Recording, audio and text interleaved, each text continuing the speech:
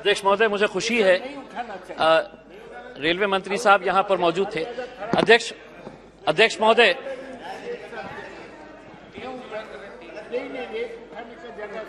अध्यक्ष महोदय, मैं आपके ज़रिए रेल मंत्रालय से यह स्पष्टीकरण चाहता हूँ, क्योंकि रेल मंत्री ने राज्यसभा के अंदर लिखित रूप में दिया है कि नई पिटलाइन जो है वो औरंगाबाद में बनेगी। जबकि रेल राज्य मंत्री ने ये स्टेटमेंट दिया है कि नई पिटलाइन जो है वो जालना उनकी कॉन्स्टिट्युएंसी के अंदर बनेगी। तो ये स्पष्टीकरण उनसे चाहता हूँ। साथ ही साथ शिवाजी नगर का एक आरोपी जो है, जो पिछले कई सालों से मांग की जा रही है, ये मुद्दा हाईकोर्ट के अंदर गया।